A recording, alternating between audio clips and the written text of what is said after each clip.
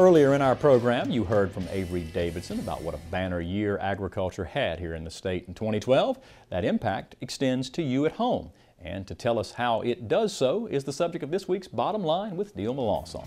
The bottom line is brought to you by the Cotton Board, strengthening the fiber of our industry. First South Farm Credit, financing rural America since 1933. And by Progressive Tractor and Implement, your Case IH and Kubota dealer.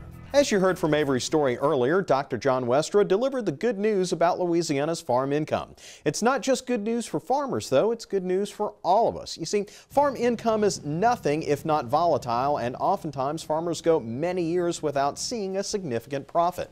In years like 2012, this gives farmers a chance to not only make up for lost ground, but to pump that money back into our local economies through tractor and combine purchases, materials for grain bins, and some new trucks and ATVs strictly for farm purposes purposes, of course.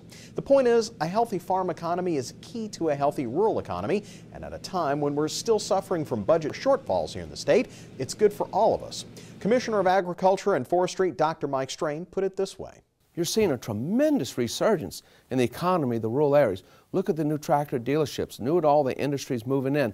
Look at all the new equipment being bought. Look at all of the, the different grain bins being built. Look at the money being spent in rural Louisiana.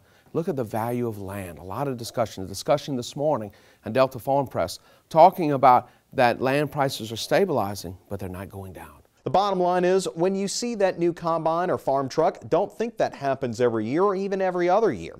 Think about the jobs it takes to supply all those things to our farmers in need, and more importantly, think about the efficiency it's going to create on those farms, which will translate into keeping prices at your grocery store the most affordable in the world.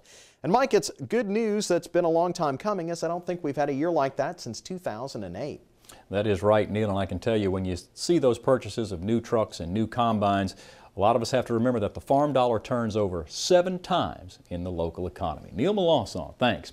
And remember, you can listen to any of Neil's daily radio reports on the Louisiana Farm Bureau Agri-News Radio Network for a list of stations where you can tune in or listen online. Click over to our website, twilatv.org, and click on the LF Barn link.